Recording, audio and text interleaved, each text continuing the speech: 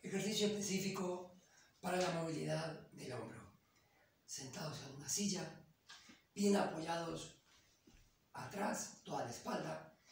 Vamos a intentar movilizar el hombro y nada más que el hombro. Una vez que estamos colocados, vamos a tomar aire, vamos a hinchar el abdomen, lo que podamos. Y al soltar el aire, vamos a movilizar los hombros arriba y abajo. Subimos y bajamos, inspirando, exhalando, haciendo un movimiento solamente de los hombros.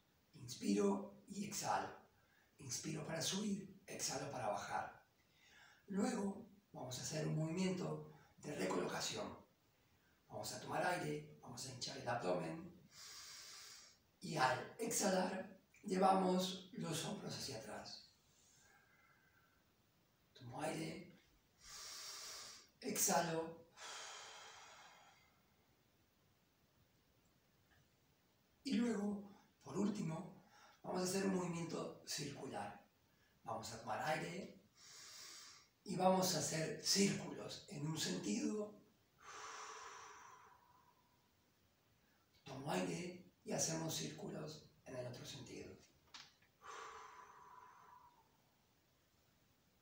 Lo vamos a hacer varias veces, varios minutos, primero arriba y abajo, luego recolocación y por último círculos.